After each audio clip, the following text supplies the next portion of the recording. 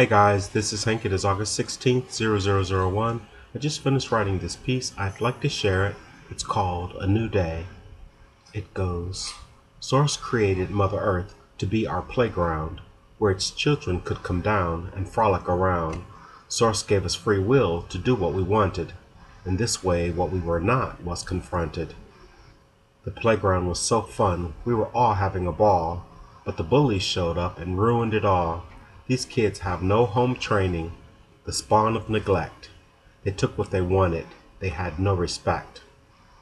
Only the strong survived, the rest sadly were eaten alive. They took your lunch money right out of their banks. They spit in your eye and never gave thanks. Dog eat dog, the dogs were hogs.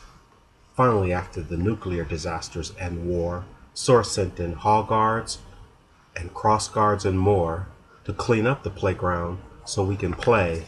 This is the beginning of a new age, of a new day. Alright, guys, thank you very much for listening. I do appreciate it. Love and light. Namaste.